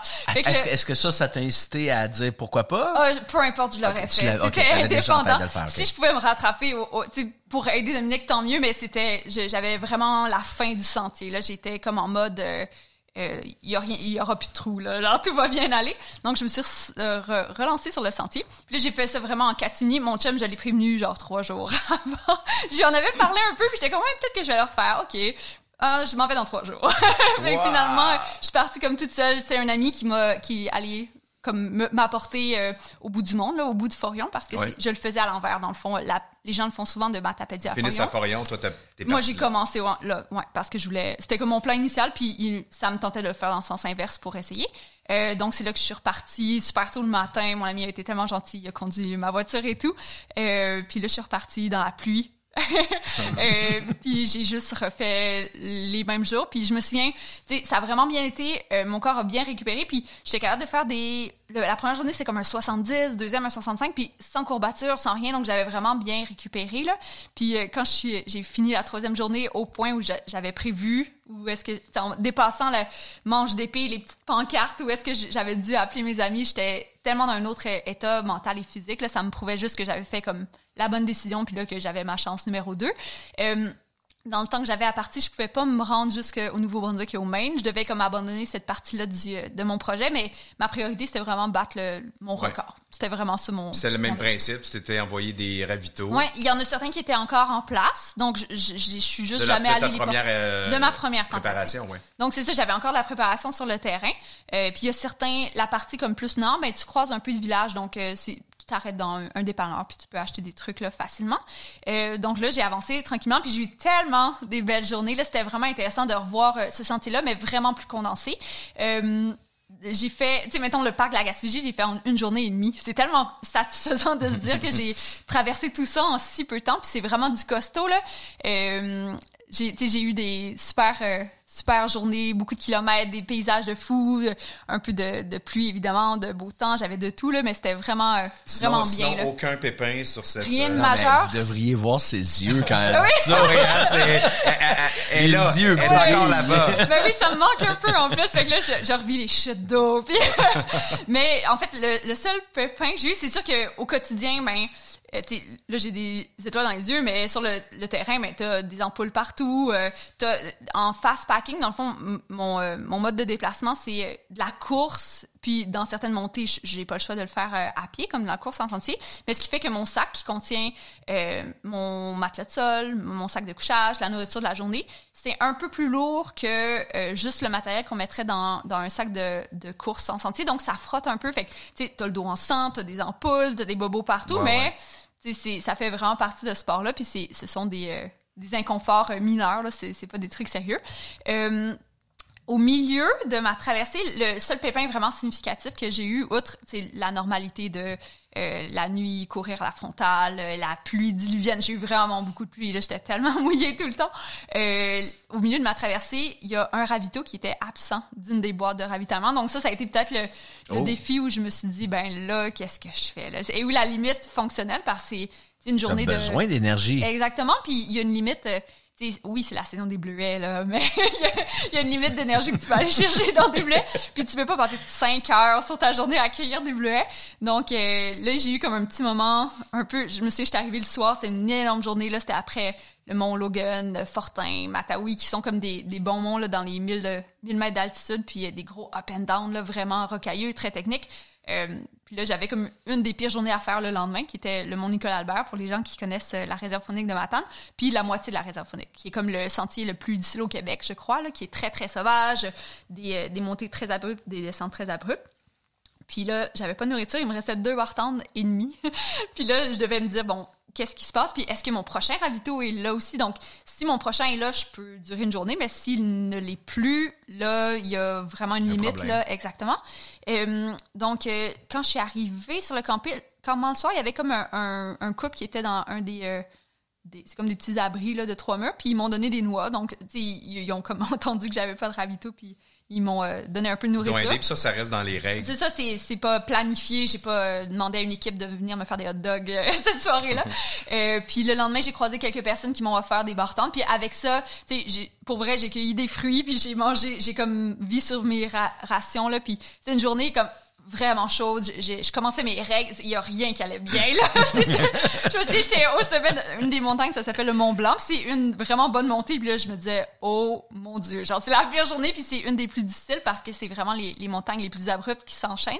Finalement, je suis arrivée à la fin de la journée sur le bord du lac Matane, puis c'était fou là. Il y avait comme un, autre couple qui était dans la, le petit shack avec moi. Il y avait un chien là. J'ai pu flatter un chien. Genre c'était comme l'espèce d'épiphanie de j'ai fait ma journée. Puis mon ravito était là finalement. Ah oui, ah mon prochain ravito était là donc c'est rassurant quand même. Euh, la question qui me vient c'est combien d'heures dors-tu? Euh, plus qu'on pourrait croire. Souvent c'était environ 12 à 14 heures de marche-course durant le jour. Ça dépend des sections. Il y a des sections où je pouvais dormir un peu plus, euh, puis des sections où est-ce que c'était des très grosses journées. Donc j'arrivais bon, je me réveillais quand même beaucoup parce que c'est pas hyper confortable. Puis j'avais comme des petits bobos qui, mettons, une hanche qui me faisait me réveiller, me tourner beaucoup. Euh, j'arrivais quand même à être, mettons, à l'horizontale un 7-8 heures. Donc, ah c'est quand même... Euh, ouais, c'est pas si mal. Là. Puis ça, ça, m'aidait vraiment à récupérer. Je pense, dans d'autres projets, j'aimerais ça essayer, voir avec un peu plus de déficit de sommeil, qu'est-ce que ça, ça ferait. mais... Parce qu'on le voit, hein, des fois, ça dort une heure, deux heures, ça passe, c'est dingue. Là. Ouais, en rando, des fois aussi, on est... Euh, on, on dort pas 100% comme dans un, ben parfois on dort bien là mais c'est pas 100% dans un, contexte optimal euh, aussi j'avais un petit sleeping bag un petit matelas donc c'était vraiment le confort minimal.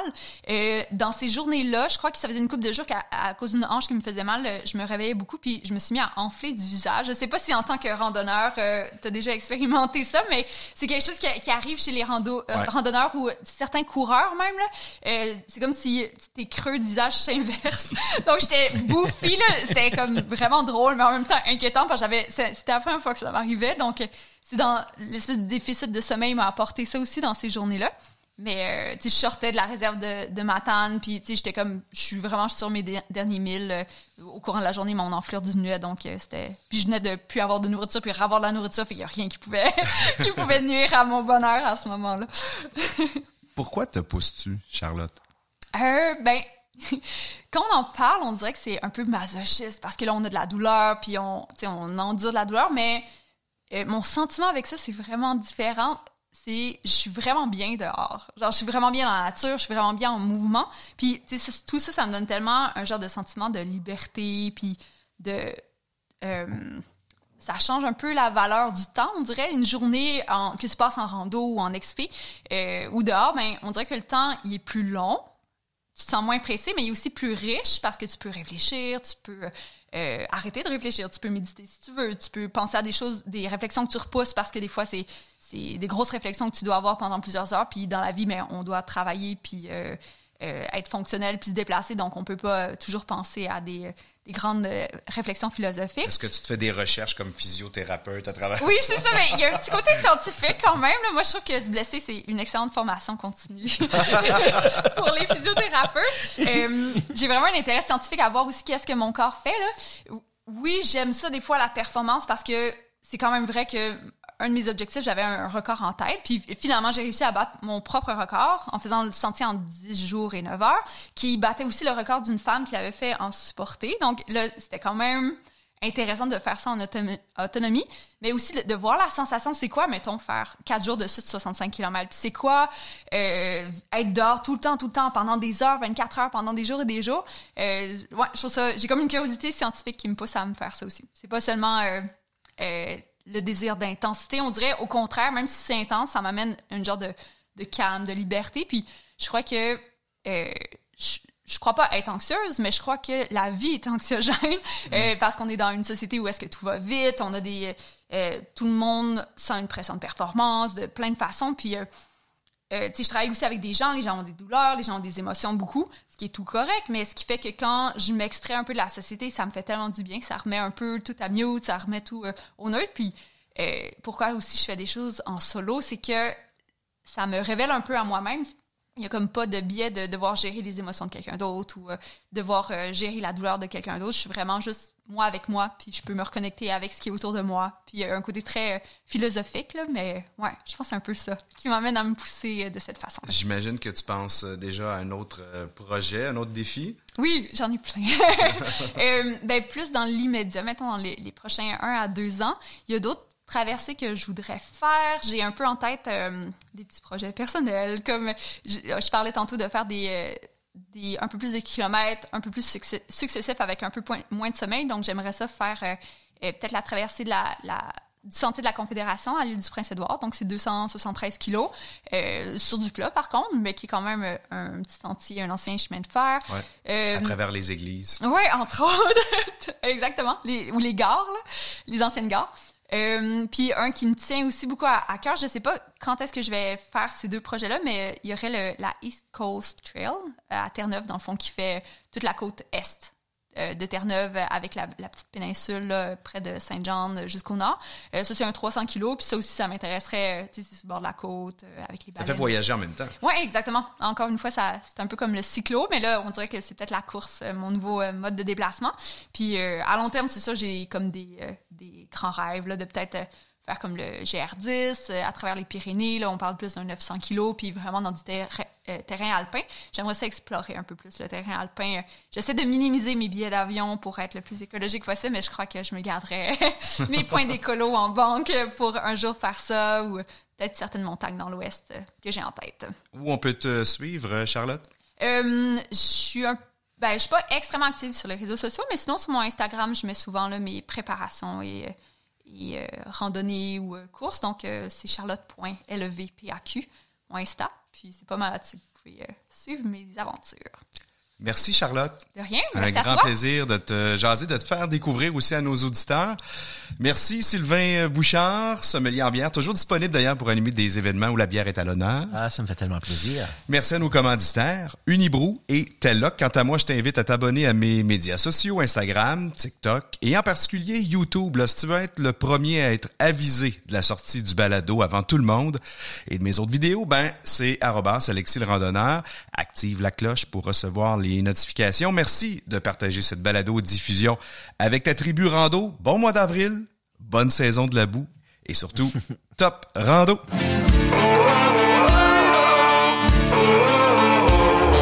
Sommet et Collet vous a été fièrement présenté par la brasserie Unibrou, lauréate de près de 400 médailles internationales.